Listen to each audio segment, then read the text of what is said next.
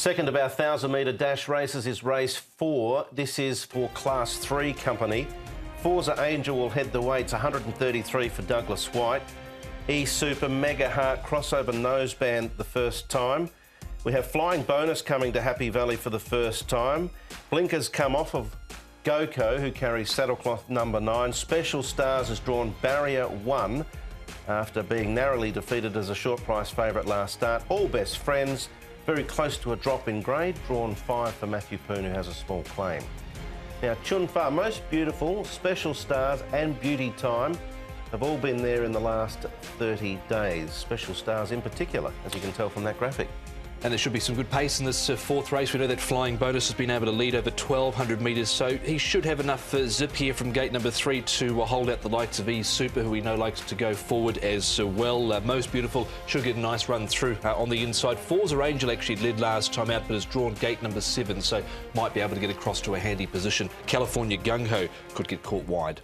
Quite a well-rated horse now is E Super, and his last piece of track work uh, it was been pretty good actually. This horse looks like he's back to some of his better form, and uh, he's won off a lot higher mark. And it wasn't a bad run last time behind Telecom Brothers, who is winning them in a row at the moment. So he's definitely on the prove. Mega Heart, uh, he's uh, with Michael Chang now, of course. The cross noseband will go back on him, or go on him, sorry, for the first time.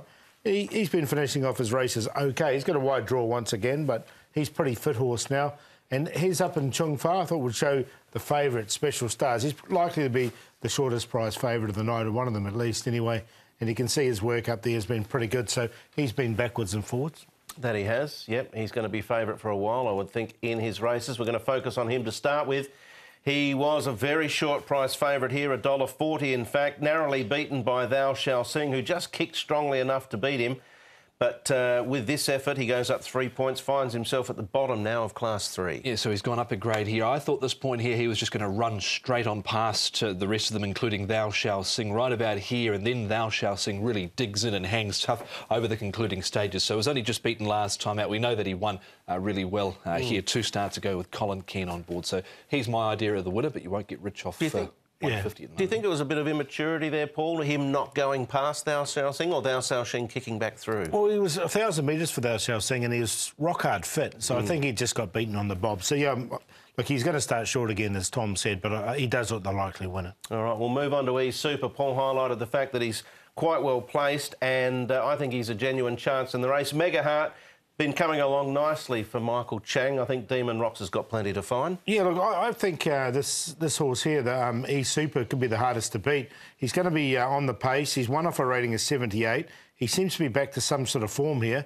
Uh, his track work's been good, and he's uh, he's well rated. So yeah, I've got him in the numbers for sure. He's got a good record on the class, does he? Mm. Super. The one out of that race uh, to watch, he ran ninth last start, Demons Rock. He was tailed off early in that race at Sha uh, last time out, but he actually ran through the line quite nicely. So he's not had a lot of luck so far. He's had, what, six starts here for Zilch so far, but I think that run last start was quite encouraging. Little long shot, perhaps? Mm, potentially. All right, we'll have to wait and see. California Gung Ho who ran a much better race at two starts ago behind Speedy King. That's the run we're looking at. Um, left Michael Freedman's yard. This was the first performance that he put in after doing so. Yeah, this is his only start he's had in Hong Kong over a thousand metres.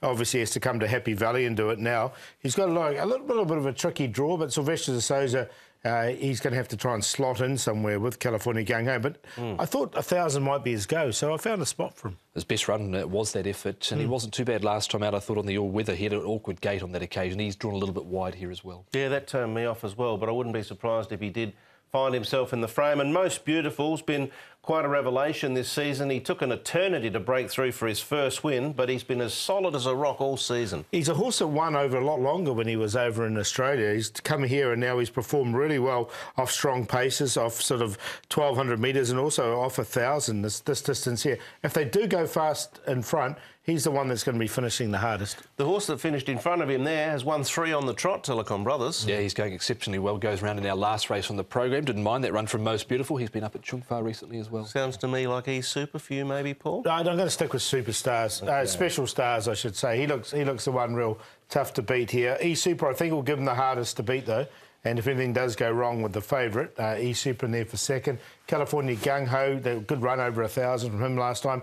I'm going to put Most Beautiful in for fourth because he's a horse that does run this course pretty well and has won over the thousand metres this season. 10, 2, 6, and 7. I'll go exotics though because Special Stars has come up very short. Mm. I've gone with special stars as well. Um, got the same numbers as Paul. In fact, just mixed them around a little bit, but uh, can't find anything to beat special stars. California Gung Ho, I've stuck him into the mix. Most beautiful in E Super. I couldn't find a spot the end for Demons Rock. It was uh, the wide stall of gate 11, which just turned me off a little. 10, 6, 7, 2. Yeah, I think E Super, maybe Mega Heart might be the two dangers to Special Star, but he looks hard to beat, that's for sure.